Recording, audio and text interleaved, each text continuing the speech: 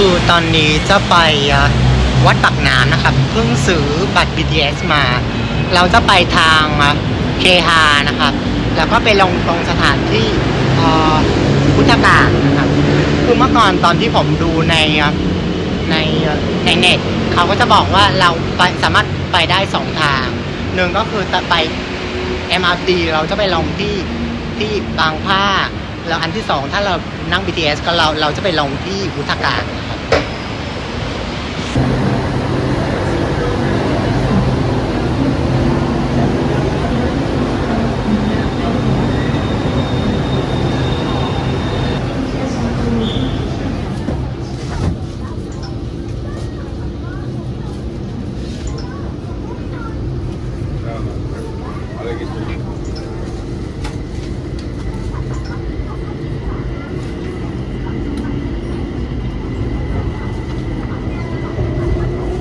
แล้วเราไปลงตรงสถานที่วุฒการนะครับ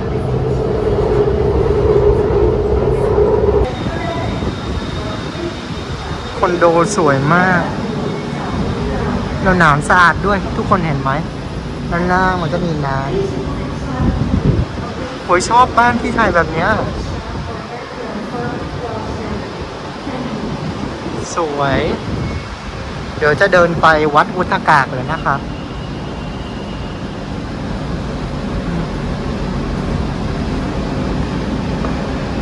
อากาศเอ่อพอพอเหมือนที่เวียดนามเลย ก็ ถ้าถามว่าร้อนไหม มันก็ร้อนแต่ไม่ร้อนมากนะครับ ประมาณ 35ถึง36 องศานะครับ เดี๋ยวจะออกทางออกที่สอง ดีมากที่เราจะถามพวกพี่เขาไม่รู้ว่าตำรวจหรือยามแบบนี้นะตำรวจนะครับ แล้วพี่เขาจะบอกทางให้เราเหมือนผมนี่ ผมบอกว่าพี่ผมอยากไปวัดพุทธกาผมต้องลองสถานที่อะไร พี่เขาบอกให้เราหมดเลย ดีมากนะครับ เป็นเป็นการที่ดีมาก เราจะนั่งนั่งเอ่อจะจะนั่งวินมอเตอร์ไซค์นะครับ ทางออกที่สองมันอยู่ตรงไหนอะทางออกที่สองเมื่อกี้พี่เขาบอกว่า คือไม่รู้พี่พี่ถ้าพี่เป็นแบบนั้นภาษาไทยเขาเรียกว่าเอ่อตำรวจและอะไรอะ อันนี้คือทางออกที่ไหนทางออกที่สองใช่แล้วทางออกที่สองเนี่ยนะครับแล้วก็เดินตรงทางออกที่สองตอนนี้ก็จะนั่งแกร็บไปวัดปากน้ำนะครับที่เขาบอกบอกว่าวัดปากน้ำมันคือใกล้ๆกับวัดอรุณแล้วก็วัดโพอันนี้เพิ่งรู้เลย เพราะว่าครับก็ถึงนะครับคือส่วนมากเมื่อก่อนตอนที่ที่มาเที่ยวไทยหรือว่า ผมส่วนมากจะมาเที่ยววัดโพวัดอ่อวัดอรุณครับแล้วคือวันนี้เพิ่งลงเครื่องบินต้องรีบมา วัดปากน้ำเลยเขาบอกว่าช่วงห้าโมงเย็นมันมันมันแบบสวยมาก ก็อยากไปถ่ายรูปอยากไปไปดูมันเป็นยังไงบ้าง คือปกติมันอากาศที่ไทยมัน มันจะเป็นแบบนี้หรือร้อนกว่านี้อะครับ ในช่วงในช่วงหน้าร้อนนะครับอืมมันจะร้อนคืออากาศเหมือนเหมือนเหมือนโฮที่โฮจิมินห์เลย อ๋อโฮจิมินห์มันก็เป็นแบบนี้เช่นกันนะครับ ช่วงนี้ก็ตอนเย็นแล้วก็ไม่ค่อยร้อนเท่าไหร่ครับครับแต่กลางวันจะร้อนมากพอหน้าร้อนจะร้อนมากครับกรุงเทพเพราะว่าช่วงนี้ที่เวียดนามมันเป็นวันหยุดยาว คนเวียดนามก็เลย ก็เลยบินมาเที่ยวไทยเยอะมาก พี่ก็รู้อยู่แล้วคนเวียดนามชอบเที่ยวไทยเยอะมาก ก็อยากให้ให้คนไทยมาเที่ยวเวียดนามเยอะแบบนี้มากอ๋อ ใช่คือผมเท่าที่ผมเห็นนะคนไทยก็ชอบไปเที่ยวเวียดนามที่ที่ดานังฮอยอานซาปาครับผมซาปามันจะเป็นจะเป็นเมืองหนาวอืม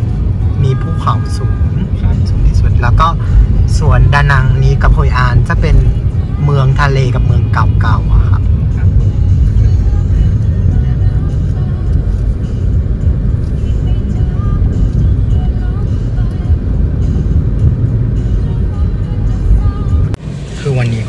ไม่รู้แต่งตัวแบบนี้ได้หรือเปล่าเข้าวัด น่าจะได้อยู่ได้ครับอืมก็ไม่ได้ไม่ได้ใส่กางเกงขาสั้นอะไรอย่างเงี้ย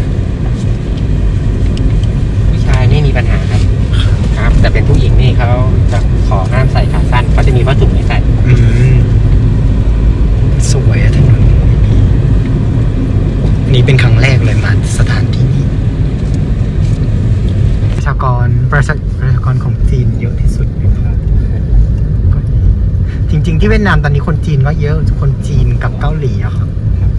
ช่วยเช่นกันเขาไปทุกประเทศ แต่น่าจะไปเยอะที่สุดที่ไทยนั่นแหละครับ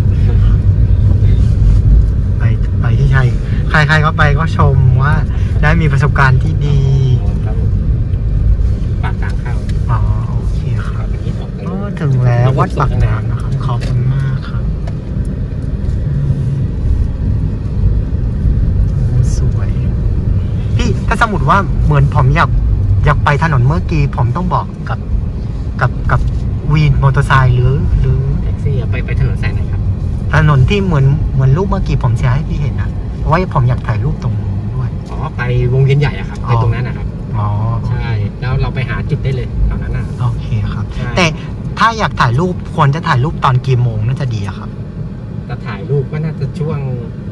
ช่วงนี้ครับก่อนช่วงหกโมงเย็นเนี่ยครับอ๋อโออาเคทิตย์กำลังครับจะตกพอดี โอเคครับขอบเนี่ยคุครับณครับ โอเคเข้าวัดก็ได้ไปเนี่ยไปทั่วโอเคครับขอบคุณครับ ช่วงหน้านี่กำลังเข้าวัดอยู่นะครับ คือวัดปากน้ำนะครับ มันจะมีหลายสิ่งหลายอย่างลักษณะที่โดดเด่นเหลือเหลือเกินนะครับ อย่างเช่นเอ่อสถาปัตยกรรม คือวัดปากน้ำพระศรีเฉลิมมีสถาปัตยกรรมที่สวยงาม ด้วยหอคอยวัดที่สูงนะครับ แล้วก็รูปปั้นทุกคนเห็นไหมตรงนู้น รูปปั้นนะครับ รูปปั้นนะพระพุทธแล้วก็ห้องสวดตกแต่งศิลปะนะครับ เดี๋ยววันนี้ผมจะมารีวิวให้คุณผู้ชมมาดูนะครับ เดี๋ยวผมขอไป แชร์ไปไปถ่ายอะนี่ทุกคนเห็นไหม ว้าว สวยมาก สวยมากจริงๆ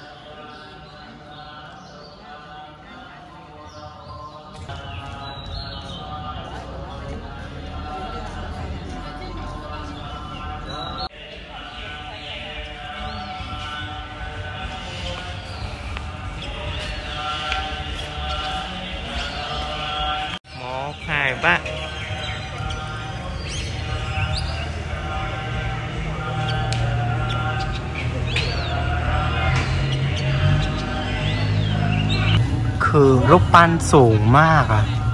ผมจำไม่ได้ว่ารูปปั้นนี่รูปปั้นพระพุทธนี้สูงเท่าไหร่นะครับ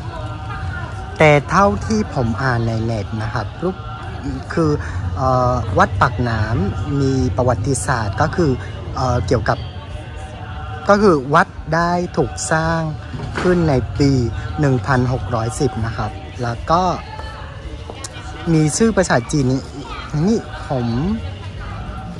ผมผมผมไม่รู้ว่าอ่านยังไงนะครับ เพราะว่าผมอ่านภาษาจีนไม่เป็นนะครับ สวยมากจริงๆ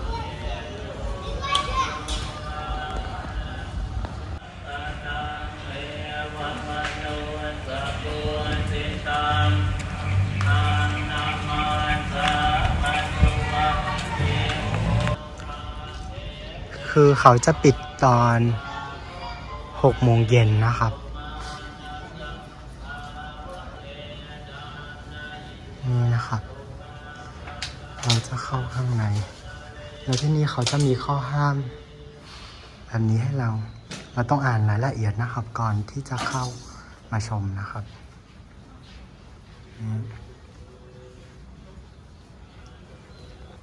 เดี๋ยวจะขึ้นชั้นข้างบนนะครับ นี่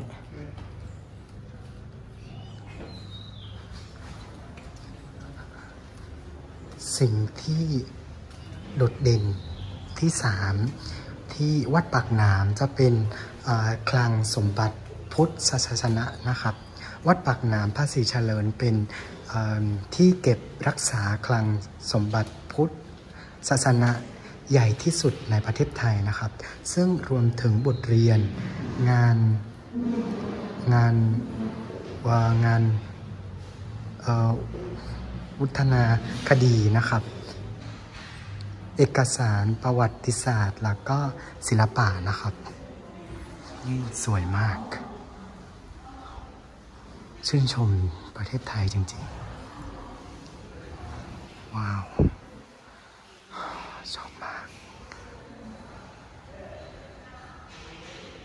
ชอบมากจริงๆ สวย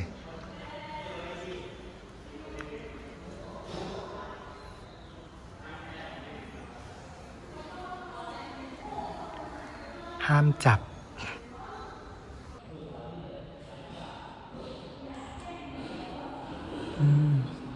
สวยมากจริงๆว้า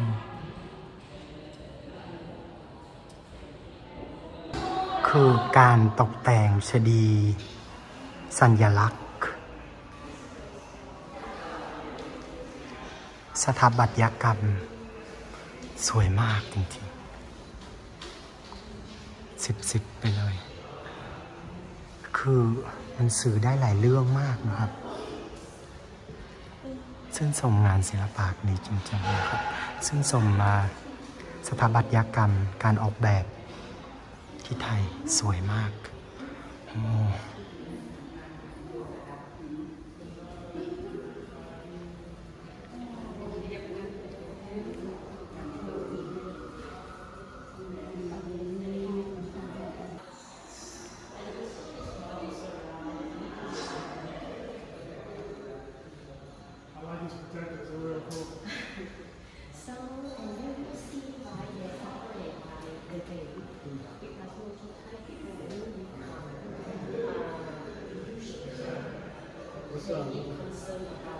ว้าว สวยมาก อลังการ สวยมากจริงๆคือที่นี่เขาบอกว่าห้ามพูดเสียงดังนะครับ ผมก็เลยต้องรีวิวในปอนโอ้ว้าวโอ้สวยมาก ทำจากทองเลย ส่วนมากจะเน้น ส่วนมากจะเป็นเน้นเป็นสีทองหมดเลยนะครับ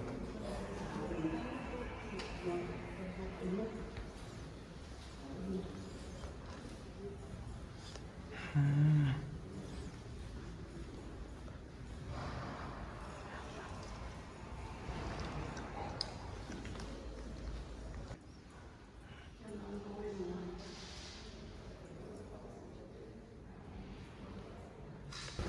สวยมากนะครับ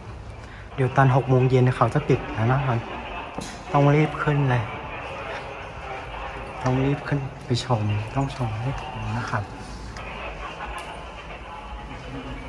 การุณาอยาว้าว สวยมาก สวยมากจริงๆ โอ้ ทุกคนต้องเห็นกับตานะครับ คือมันสวยมาก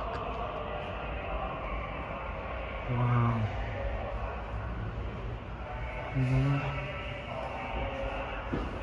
วยมากนะครับ สวยมากนะครับคุณผู้ชม สวยมากจริงๆ ว้าวทุกคนเห็นข้างหลังไหม ว้าว สวยมากนะครับ คือเขามีป้ายติดว่าอย่าส่งเสียงดัง ผมก็เลยต้องพูดเบาๆนิดหน่อยนะครับเด็ดกว่ามากเลยเอ้ย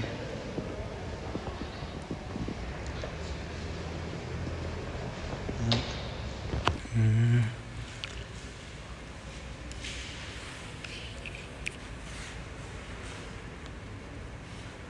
โอ้ว้าว ทำไมสวยจังอะ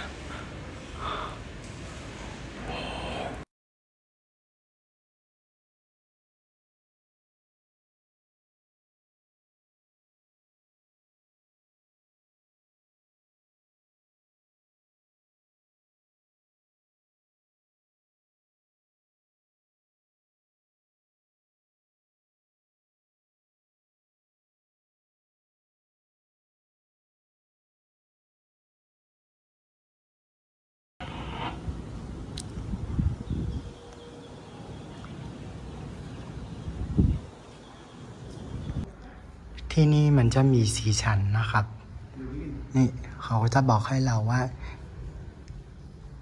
มันจะมีอะไรบ้างพิพิธภัณฑ์ ห้องจัดงานพีทพิพิธภัณฑ์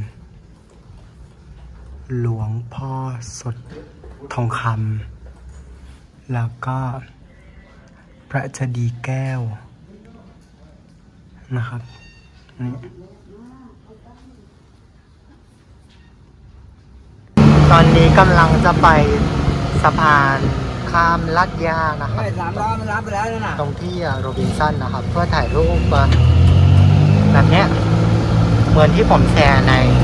ช่องยูทูบผมบอกเมื่อก่อนนะครับ เพราะมันสวยมากมาต้องมาที่คืนนานๆ ได้มาเที่ยวไทยก็ต้องถ่ายรูปต้องมาเช็คอินให้ครบนะครับ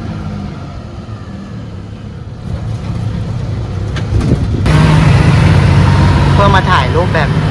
เมื่อกี้นะครับตอนนี้กำลังไปหาสะพานโอ้ยแต่ป้าที่ตก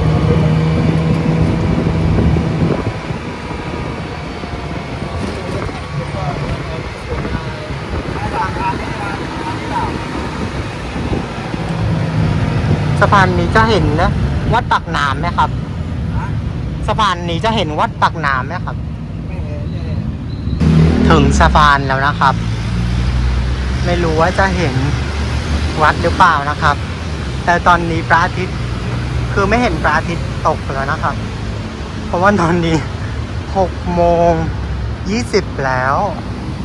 ไม่ทันแล้วตรงไหนอะเอาวัดตรงไหนอะอ่า นู่น ทุกคนเห็นไหม อยู่ตรงนู่นเลย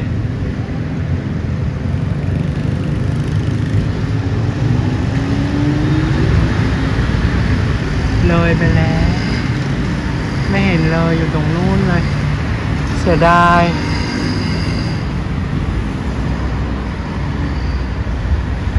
ก็คือเมื่อกี้พี่เขาจอดตรงที่สะพานข้ามโรบินสันถูกแล้ว แต่พี่เขาก็ไม่แน่ใจว่า เออมันมันใช่เป็นที่นั้นถูกหรือเปล่านะครับ แต่ตรงโน้นทุกคนเห็นใช่ไหมนี่ไงนี่ไง วัดปากน้ำนะครับ แมวนี่ น่ารักมาก มีห้าตัวนะครับ ที่บ้านตอนนี้ผมเลี้ยงหนึ่งตัวอยู่นะครับ น่ารักมาก ร้อนน่าเลยมะคะใช่เออครับครับผมราดเลยนะครับน่าเลยนะ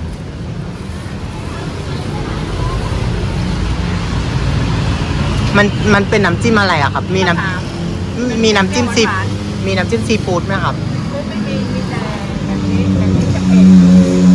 งั้นเอาอันนั้นเลยก็ได้ครับ ได้ได้ใส่รวมไปเลยอะครับ อันเนี้ยเหรอครับอัอะนเทใส่นี่เลยนะ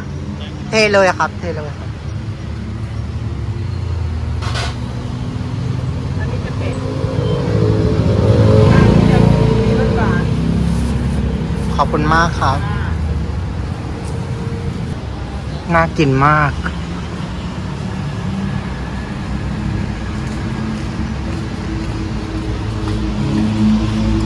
ของกินข้างถนนแบบนี้ดูน่ากินมากนะครับ ให้ทุกคนลองเดานะครับ ตอนนี้ผมกำลังยืนอยู่ที่ไหนนะครับ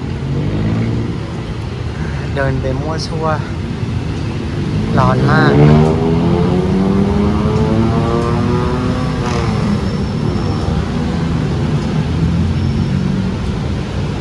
ร้อนมากจริงๆ